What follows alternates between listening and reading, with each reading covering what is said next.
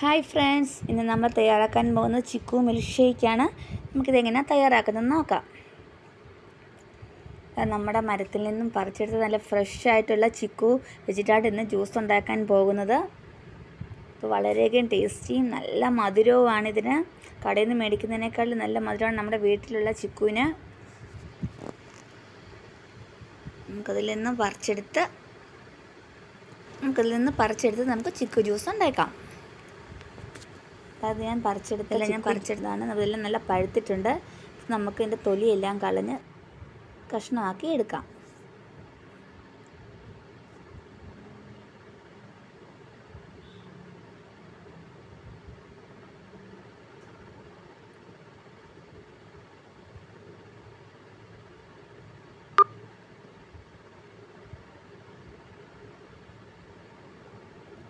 നമുക്കെല്ലാം ഇതുപോലെ കഷ്ണങ്ങളാക്കി എടുക്കാം. ഒരു മിക്സിയിൽ നമ്മൾ അരിഞ്ഞു വെച്ചിരിക്കുന്ന ചിക്കു ഇടുക.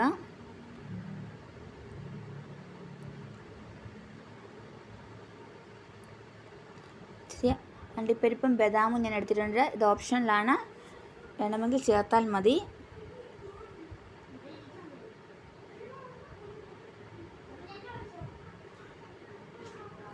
ഒരു സ്പൂൺ പഞ്ചസാര. പഞ്ചസാര ആവശ്യത്തിന് ചേർത്താൽ മതി. പിന്നെ ഒരു കപ്പ് തണുത്ത പാൽ. ഇതെല്ലാം കൂടി നല്ലതായിട്ടൊന്ന് ബ്ലെൻഡ് ചെയ്തെടുക്കാം.